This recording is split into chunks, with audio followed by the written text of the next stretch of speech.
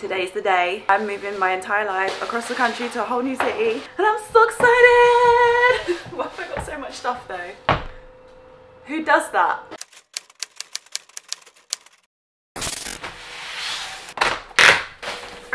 It's time to get the packing started. I've had an absolute mare today. You know when things just feel like they keep going wrong and you're just like, why? Like, why? It's just been one thing after another at the moment. The icing on the cake for me today was finishing up filming my last clip for a sponsored job, having the rest of the video edited importing that last clip and then losing the entire vlog and having to re-edit that for this whole day when I've literally got two days left to pack. I just finished that edit probably about half an hour ago and it's now 20 to 7 so that's I'm starting packing at 20 to 7 instead of at like midday which I was hoping was going to be the case but here we are. Needless to say I'm super excited to be packing and getting the fuck out of this place which I will speak more to you guys about. I know a lot of you guys have questions and a lot of you guys are asking why I'm moving again. I have been here for a while though I've got so much to do over the next few days. I'm going to do my best to take you guys along with me. And yeah, I'm super excited to share this new chapter with you guys. I'm so excited to go on this new chapter for myself. It's been a long time coming and like this has to be my time now. But I'm going to stop rambling and I'm going to start packing because I've got, got a lot to do.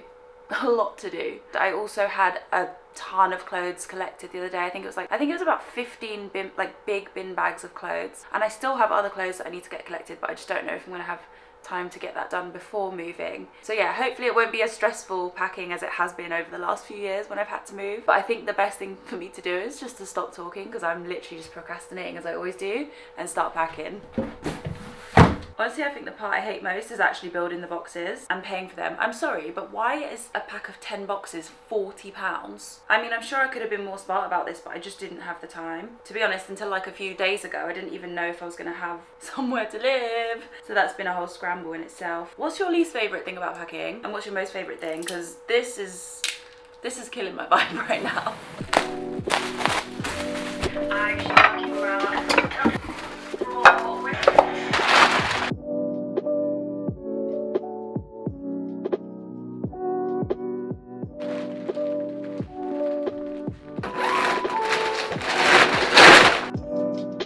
As soon as I move and I've settled in a bit, I'm going to start putting stuff on Depop. I'll leave my Depop link down below. Let me know if you'd want like a Depop haul so I can show you guys the things styled, I guess, of what I'm going to sell. Anything like that. Because I've got, I've still got way too much stuff. This is ridiculous.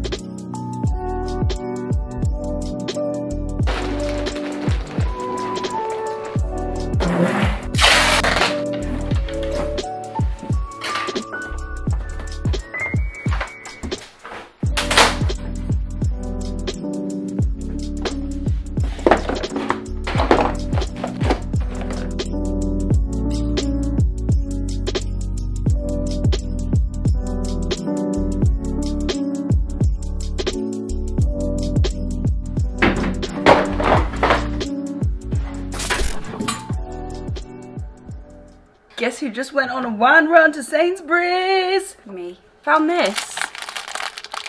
Got my all-time fave. This is gonna help me through tonight. and also ordered pho again, but this is honestly the easiest solution right now. I got the tofu rice bowl. I've had this a few times before and it's super nice. It doesn't feel unhealthy, which is nice. Hopefully it'll give us a bit of energy to carry on.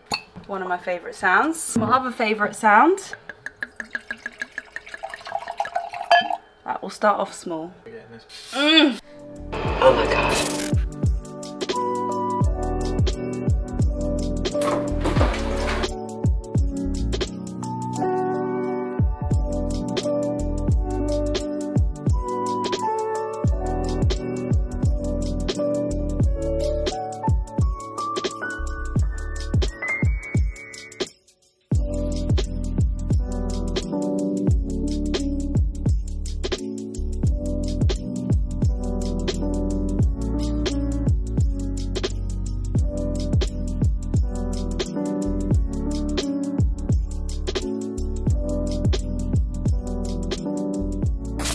Before I start packing away all the clothes in my bedroom, I'm just trying to figure out and plan an outfit for the next three days. Tomorrow doesn't really count, I don't really have to do anything tomorrow. So I guess just something loungy. I need something for my mum's birthday dinner, and then I need something to travel in and move in on Thursday. And then I'm thinking, I've got a list on my phone of like all the stuff I need to do before. Was thinking last night, like I need to pack some essentials as well, because I don't want to be in the flat and like not have pajamas, not have a duvet, you know, them kind of things there. So I need to set those things aside to put in a suitcase so I don't forget. I think I know what I'm going to wear on Thursday, but I'm just going to try on some bits so that I have an outfit for my mum's birthday before I pack all this stuff away. And then we're going to chuck all my clothes in bags. This is so bizarre. I feel like this is the longest I've stayed in a flat. I don't know. It just feels really weird because this flat, it was my house, but it never felt like home. Like I never really felt at home here or comfortable here due to certain circumstances and obviously having a load of like kind of traumatic shit happen whilst living here. I just never really associated this as like a comfortable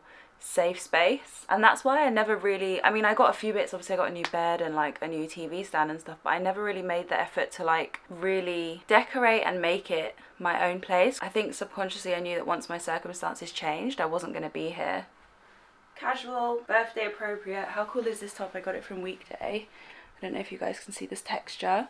I got a matching skirt with it as well but it's so cool. I've never seen anything like this before and my necklace is from my girl Helena's shop mango pickle lover obsessed with this obsessed so I just need to figure out the jacket and the shoes I'm probably gonna just wear my big chunky boots and maybe like a leather jacket with a blazer over the top let's try it on Bug it. I don't know what to wear this leather jacket or a bigger one though because it's pretty cold at the moment. Probably throw a blazer over the top. I've been loving doing this lately like that and then you've got the jacket kind of peeking through. I think it looks so cool.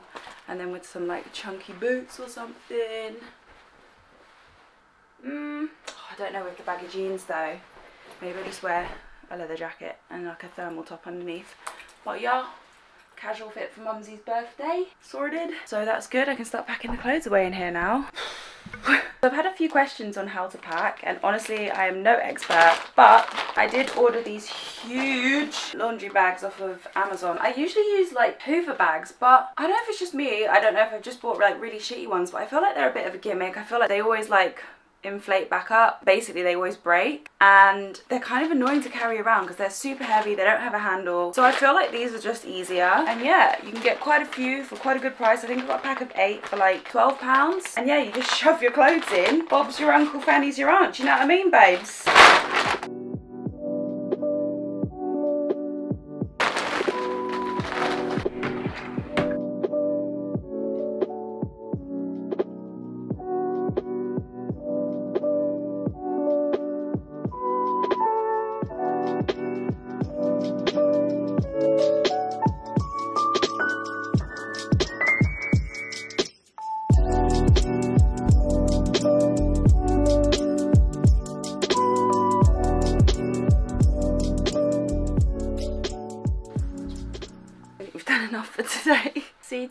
Just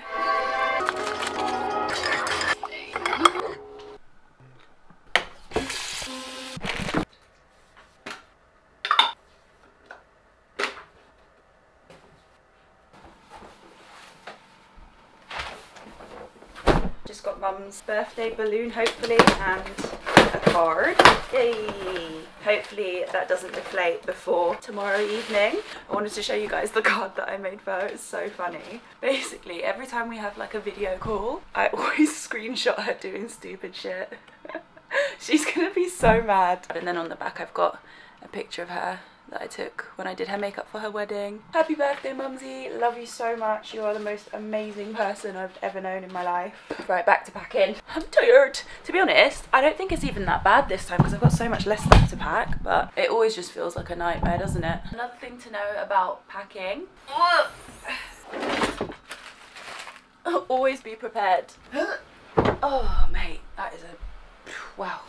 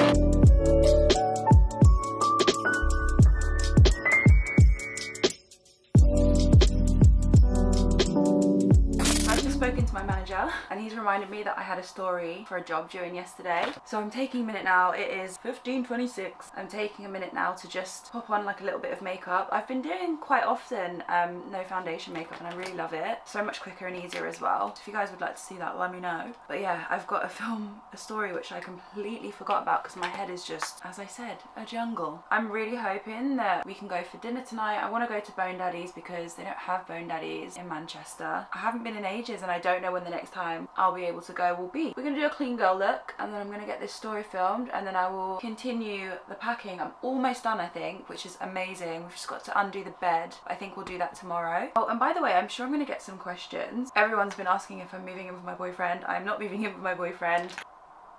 I don't want to, honestly, I've always lived with someone pretty much, apart from one flat, but there was always someone there. And it's just never ended well.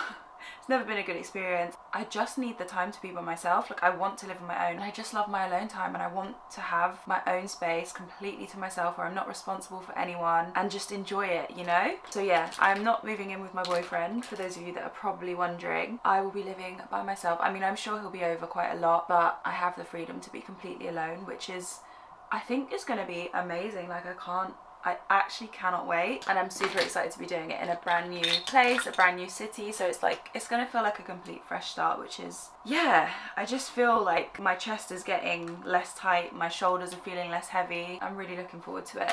Anyway, I'm gonna stop rambling because the light's gonna go and I need to get this story filmed.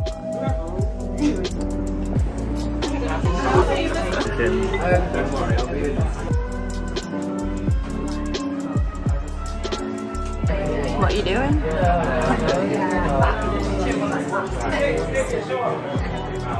When you don't realise how much shit you have until you have to pack it up and move to another city. This is ridiculous. But wait. We're not done.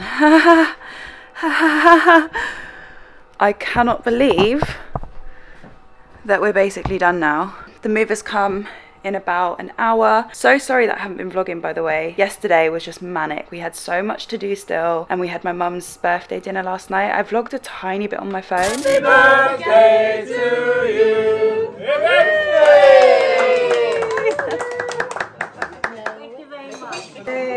Raúl, a la flor,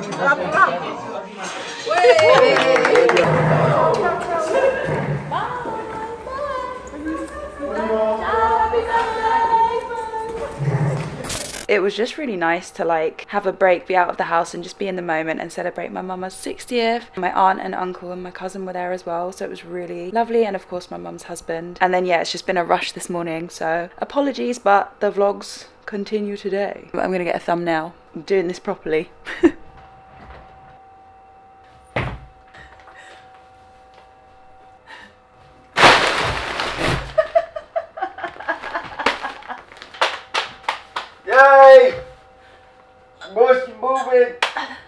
Bed's all dismantled. Another box here. All the drawers are ready to go. Bubble wrapped my desk. Packing boxes completely destroys your hands. I literally did my cuticles and stuff. I basically gave myself a mini manicure last night before going to my mum's birthday because my hands are looking disgusting. And already this morning, they're back to being dry AF boy. Dry, I don't know what that was. I mean, I'm just gonna keep topping them up, but wow. I can't wait for this move to be over now. I'm exhausted, tired, I just wanna be there. I haven't even told you guys like what the deal, like the situation is, but basically, because I had COVID and everything got pushed back, I didn't actually have time to go and view many flats. So I went to see two and picked this one kind of late as as well. So basically what happened was the flat I'm moving into is furnished. So I've taken a six month lease because I had to find somewhere to live. I couldn't just, I had, I, where else, what else was I going to do? So I'm putting my stuff all in storage. And then I guess depending on how much I like it, I might stay. But if not, I'm going to start looking for somewhere else. But I don't want to, I don't want to move again. But you guys need to hold me accountable. You see all of this shit behind me? I've got to not have this much stuff the next time I move. But yeah, basically that is the dealio. Haven't even got my train ticket actually for Manchester. So I can't wait to show you guys the new flat though. There's a gym in the building. Do you know how luxury that feels? Anyway, we've got to carry on because the, the guy's here in like 30 minutes and I'm still uploading a vlog, so. Level zero.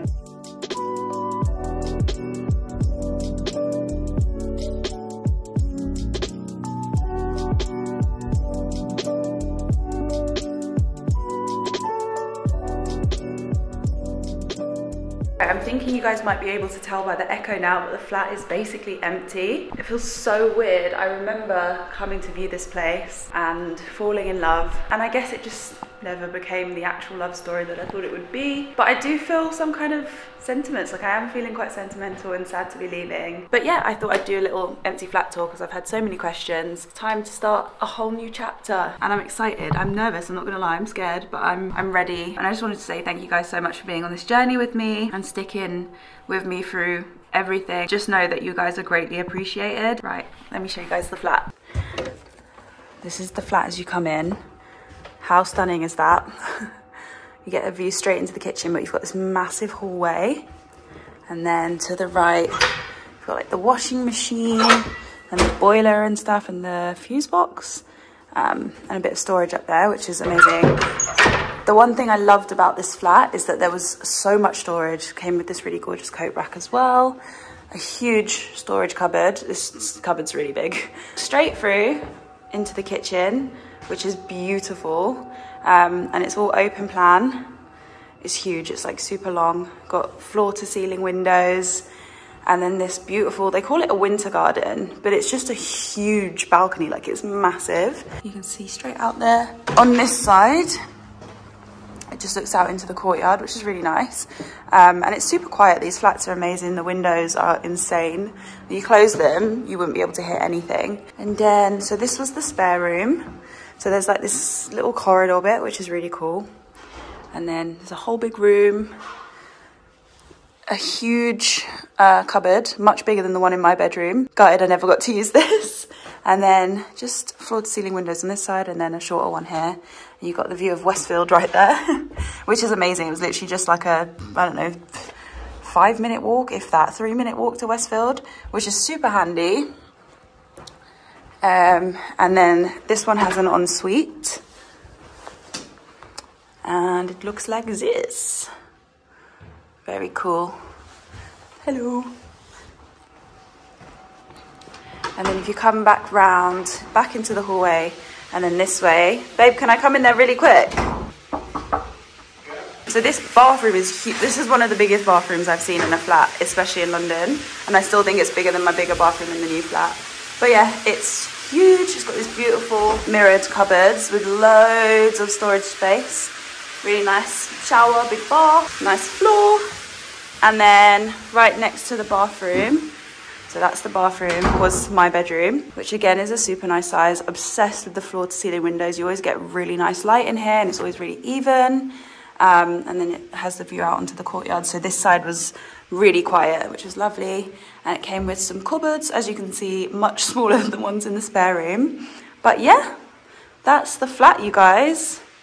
Um, oh, and by the bathroom, look how much storage. Have you ever seen this much storage in a flat, a new build in London? Yeah, I hope you guys enjoyed the little flat tour. Sorry if it was a bit rushed, but I've got to go give my keys back, get the train to Manchester, pick up my new keys, sort out my storage before the removals guys get to that place so that they can actually unload before it closes. I didn't realize that it wasn't a 24 hour storage unit. The one I have here is 24 hour. So yeah, bit of a rush now, bit of a time crunch. And I think we just want to get it done as soon as possible so we can relax. I'm feeling pretty nervous, I'm not gonna lie, but I'm really excited to just get there and then like not have to do anything. I'm bringing my projector in my backpack, movie night, couple of beers, takeaway, bed. Oh, I'm having a lie-in tomorrow. I say that, but like my brain doesn't let me sleep past like seven o'clock. But maybe it's just because I've had so much on my mind. Maybe now I'll feel like I can actually just switch off completely. I'm gonna have a whole flat to myself. I'm gonna be living on my own. I'm so excited.